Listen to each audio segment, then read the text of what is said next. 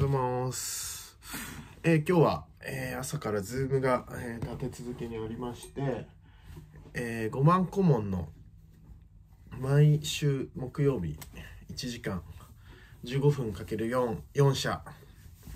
えやってるんでありまして今日は、えかすり傷も痛かったという自分の本を書くために時間を空けてるんですが全く書く気が起きません今年、え2冊出します、えーかすり傷も痛かったと。怪獣人間の手なずけ方。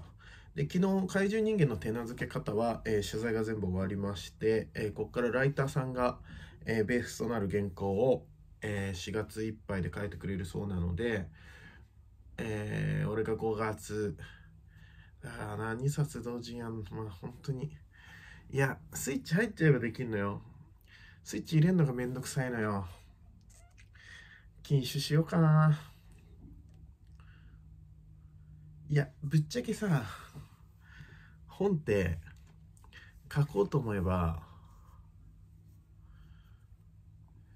1日スイッチ入れば2日とかで書けちゃうわけよ。まあ2日3日とかで。ってなると結局締め切りの3日前にやるってね。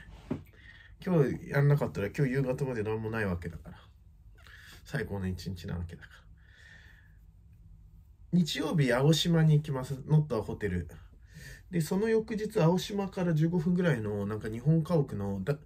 えーすごいいい宿エアビーのを取ったんで誰僕一人で行くんでそれが執筆旅行になると思いきや多分そこでも一文字も書かないということですね。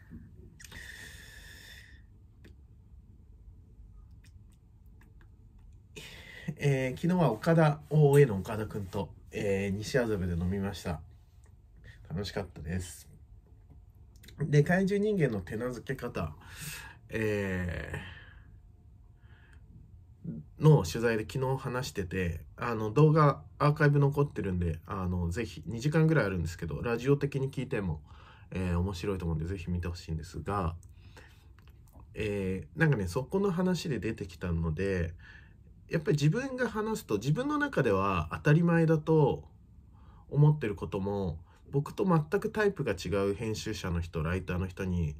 えー聞いてもらえると改めて自分で言語化して再現性があるように普遍化するので、えー整理されていいなと。僕の中では感覚でやっちゃってるんで。で怪獣人間みたいな、えー魅力あるけど大変な人とどうコミュニケーション取るか。僕は感覚でやってたんですけど改めて言語化してみて、まあ、本に書くんですけど昨日話してて面白いんじゃないかと思ったんで、えー話します。3つあると。まず一番大事なのが1個どでかくあってそれは相手への相手のそのいびつさであったり過剰さ欠落的な相手のまあ、えー人間性だよね。すごいチープに言うと。人間性に対する愛。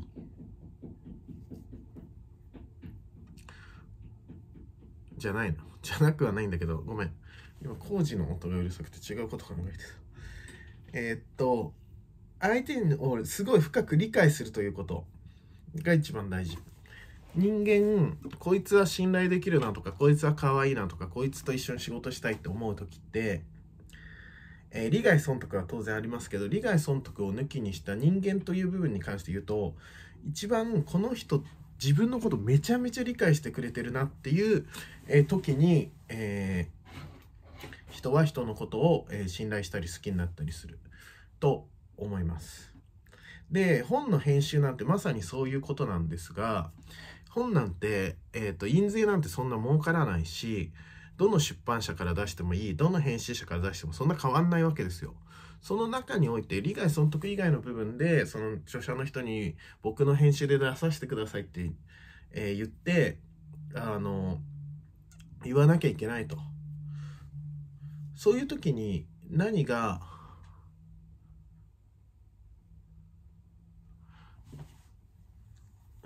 そういう時に、えー何が大事かというとこいつ俺のこと理解してるなっていうこと。要はその人の本を読んだり動画を見たりしてああなたってこうですよねってものすごい的確に、えー、想像力を持って言い表すとこいつは俺のこと分かってると。思われるとお前と一緒に仕事しようってなると。それが編集者として結構大事な能力でどんな本出してくださいって言っても全く自分のこと理解してない人と本作りたいと思わないんで、えー、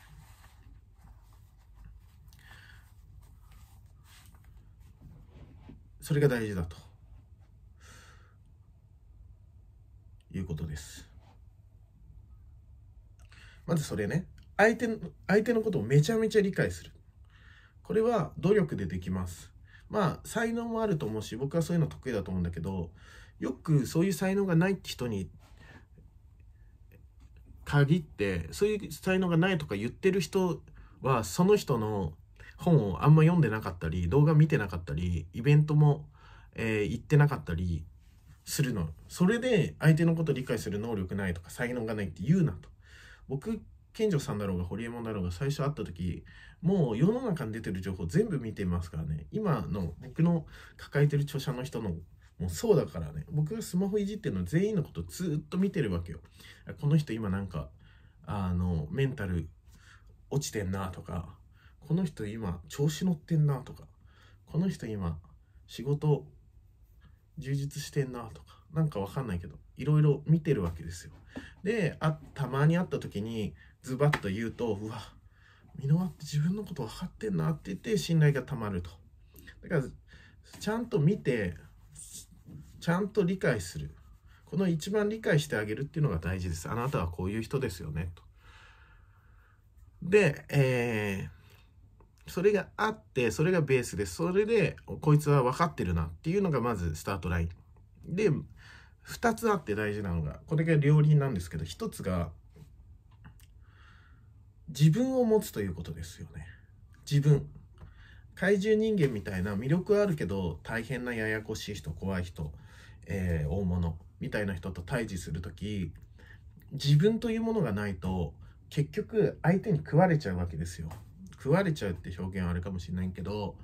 まあ飲み込まれてでこっちが単なるモブキャラになっちゃう。でモブキャラになると大物の怪獣人間の周りにはモブキャラが無限にいるんでモブキャラの中の一人になっちゃって全く認知もされないし手なずけるなんてこと無理で仕事もできないと。単なるよくいるモブキャラだねってなると。そうなんないためにやっぱり自分を持つということ。あくまでも自分の人生の方が大事で自分の人生自分の仕事を充実させるための関係値だっていう、まあ、あくまで自分が大事。でその意味において本当に自分が正しいと思ったり自分のスタイルを貫いた先に人間関係が切れてしまったりうまくいかなかったとしてもそれはそれで仕方ないよねっていう割り切り。そういうのが大事。この結局そういう割り切りとかがないと相手に振り回されちゃって相手に、えー、都合がいいただ都合がいい存在になっちゃってモブキャラになると。もし,、えー、もしくは振り回されてメンタルやられたり、えー、すると。で結局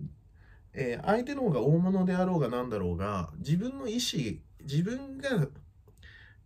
き好んで相手の言いなりになってるとか自分が好き好んで飲み会に毎回、えー、呼ばれたら必ず行くって自分の意思がないと、えー、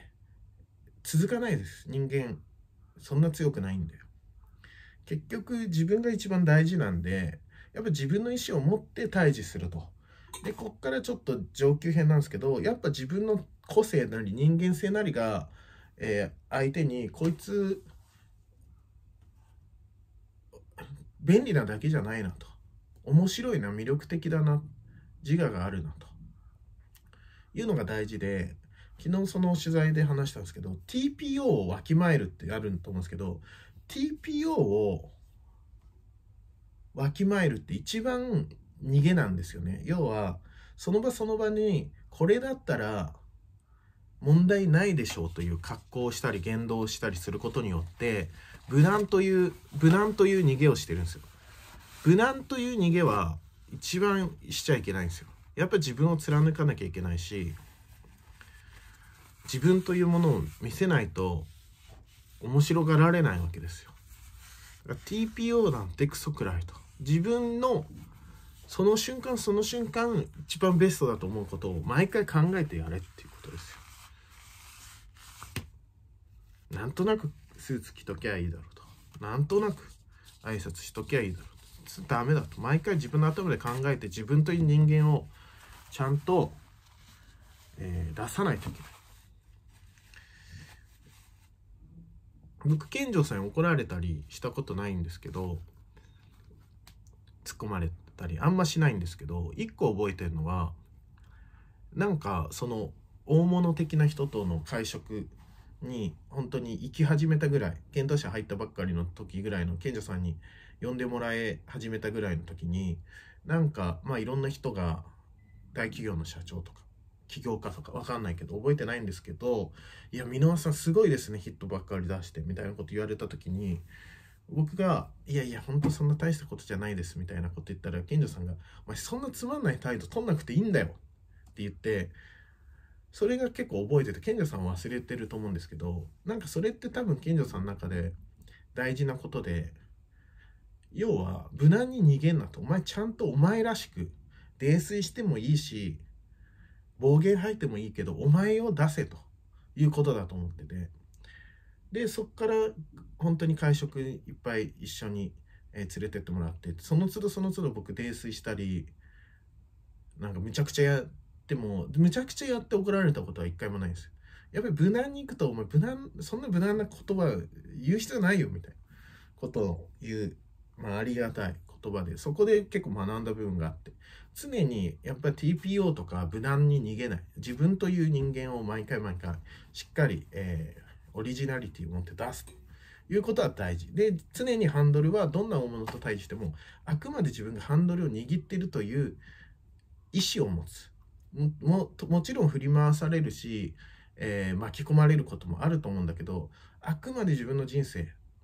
があって自分の人生があってその関係がえー、あると。自分の人生より大切なものなんてないと。自分の人間性以上に大切なものなんてないと。いうものがないと単なる、えー、駒遣いモブキャラで終わってしまいますよと。これが一個のあのあれですね。車輪。でもう一個。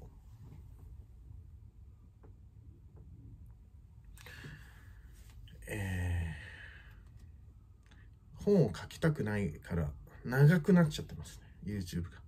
もう一個の車輪。これは、えー、目的主義っていうこと。その要は怪獣人間大物みたいな人との関係性がありますがその関係性はあくまで目的のためにあると。要は関係仲がいいとか気に入られてるってことが目的になっちゃダメだということです。あくまでその人間じゃなくてことの方が大事だと。僕だったら本面白い本を作ってたくさん売ることっていう目的の方が大事。その人との関係よりそのもその人の関係というかその目的のために関係があるんだと。関係のために目的があるんじゃなくて要は関係より目的の方が大事。ことに向き合うってことですね。それを、えー、見失うと単なる、えー、飲み友達みたいになってまあそれはそれで友達ならいいんですけど大人と大人の関係ってやっぱりどこまで行っても仕事、えー、がないと続かないというか面白くなっていかないんで、えー、あくまでその常に仕事をしてる必要はないけどその仕事がある前提要は何かしら、え、何かしらあのことに向き合う。っていうのが、えー、大事なんじゃないかなと思ってます。今すごいメッセが飛んできて違うことかもしれない。ことが大事。要はその著者と僕がいてその著者に気に入られるために一緒にいるんじゃないんだと。一緒に同じ本をいい本を作ってたくさん売るって目的のために走ってるんだと。それを、えー、忘れちゃってその人に気に入られることが第一優先だったりすると、えー、ぐちゃぐちゃになると。何な何のための関係なのかようわからなくなる。っていうのがあります。なんかあくまで目的だとか、えー、ことに向き合う。っていうことが大事。人間。その人間より。それがあの結構再現性のある三角形かなと思って。相手をものすごい、えー理解する。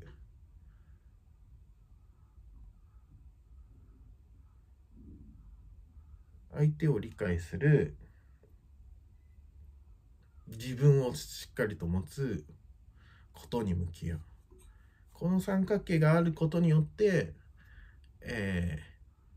大物といわゆる大物ややこしいけど魅力がある人と対峙することができる。一個でも欠けるとどっかがおかしくなって飲み込まれちゃったり振り回されちゃったりそもそも関係値が築けなかったりすると。いうことであります。まあそんな感じでいってらっしゃい。